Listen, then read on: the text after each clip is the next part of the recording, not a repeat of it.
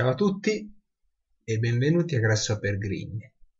Questo è il seguito del tutorial tutorial Grasshopper Random.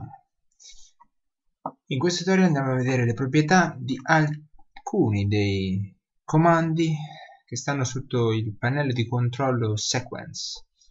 Eh, andremo a vedere quindi come eh, ragiona il comando Fibonacci, il comando serie e il comando stack data.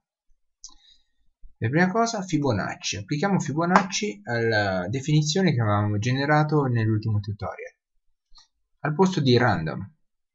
Quindi eh, per prima cosa Fibonacci eh, eh, ci crea una, una, sequenza di Fibonacci eh, e quindi basta collegare questo, questa sequenza al eh, al vettore che determina direzione dell'estrusione e vediamo come eh, ci si generi una sequenza, un valore eh, crescente di eh, altezza di estrusione che proprio cor eh, l'altezza corrisponde ad una sequenza di Fibonacci. Ehm, altrimenti possiamo usare la serie. Serie? Colleghiamo il valore serie vediamo che ehm, utilizziamo soltanto i valori di default. Andiamo a giocare un po' con i parametri. Slider type integer. Value massimo 100 e S ci indica il first number della serie. Quindi il, primo numero e gli altri si eh, muoveranno in eh, relazione con esso. Ladder type integer value 100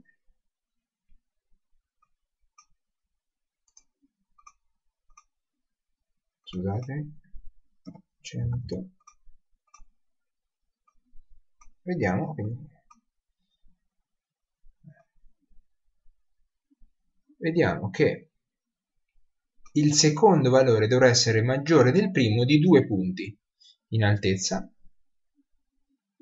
E eh, quanti valori bisogna considerare all'interno della serie lo definiamo attraverso un altro parametro.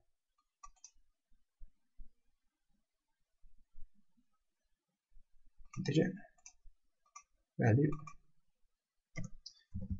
100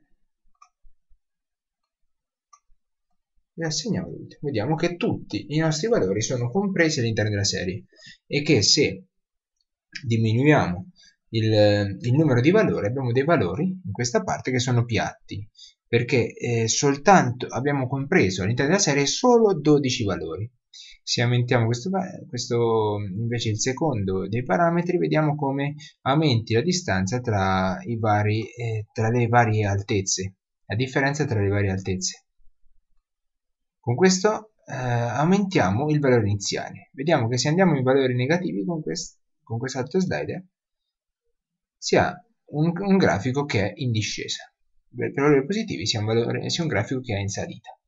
Andiamo adesso ad applicare l'ultimo comando, il comando di eh, mat Beh. Sequence stack data. Se, se colleghiamo stack data con eh, serie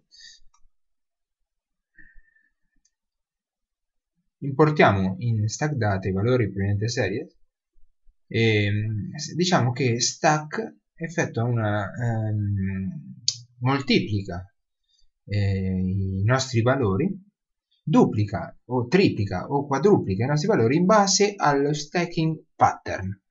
Vediamo che eh, in base allo stacking, eh, stacking pattern di default avremo che il primo dei nostri rettangoli sarà duplicato una volta, il secondo sarà duplicato due volte, il terzo sarà duplicato tre volte. E vediamo cosa succede quando colleghiamo questo al nostro, eh, al nostro, eh, alla nostra definizione vediamo che il primo rettangolo abbiamo un, un solo esemplare di, di rettangolo più basso come dice la definizione 2 di quel, eh, del successivo, 3 del, di quello ancora dopo e 4 e poi ricomincia il ciclo da 1, 2, 3, 4, 1, 2. Ecco un esempio con step. Ci vediamo nel prossimo tutorial.